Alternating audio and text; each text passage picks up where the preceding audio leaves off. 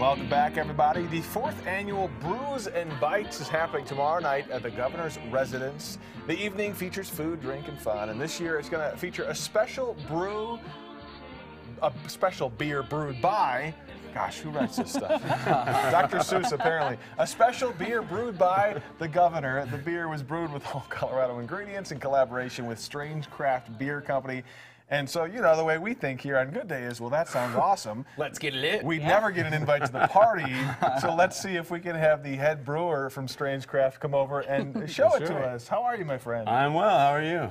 Hanging in there. Thanks And for having I me. see you got three bottles. I didn't know how much drinking we were going to do Oh, this well, morning, so I brought Don't worry, I'm never without- Look, Yeah. I'm never without up Sorry, beer there. opener, so we'll be That'll okay. work. Has bottle opener will travel. Yes. He's prepared. All Colorado ingredients, right? That's right. That's right. Uncommonly Colorado is what it's called. That's right. We brewed uh, Co- California Common Amber Lagers, one of the original craft beer styles. So we brewed a uncommonly Colorado Common with all Colorado ingredients. Malt from Root Shoot and Colorado Malting Company, hops from Highwire and Paonia, and uh, lager yeast from Inland Island right here in Denver. Well, and we know. All right. Wow, look at him there. Oh, there he is. Okay. Yeah, so he's shoveling out right now. We saved the spent grain so that he could uh, climb up on the mash tun and shovel out. That was a fun little photo op. We also saved a hop addition for him, so he threw in the Chinook hops uh, at the 25 minute mark in the boil. It was fun. We had to time it. You know, he's a busy man, so we had to Yeah. time it to his schedule. Was that, the Back to last, his roots. was that the last hop addition you did? Or, Yes. Okay, yep. Yeah. So What's a, what's a hop one for addition? What is a hop addition? So hops go in at different times. If it's Okay. for bittering, it's going to go at the beginning of the boil.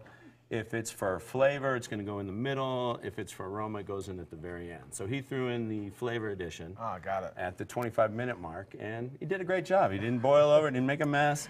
He knows You what he's know, doing. he, has got some experience. Brew, as I was calling it earlier. You know, classy without having to, you know, be invited there. So. well, what is it like to be a part of something like this? This is kind It, of cool. it was a lot of fun. You know, we're just a small 600 barrel a year taproom brewery, but to have Governor Hickenlooper, and the second time he's been to our brewery, Yeah. and to have him involved making a beer uh, as a fundraiser to raise money for the Governor's Mansion Preservation Fund, it was I don't even have to tell you. Two to what? Four, Four o'clock. Clockwork. Exactly. So same thing again today, but we dry out and warm up for the weekend.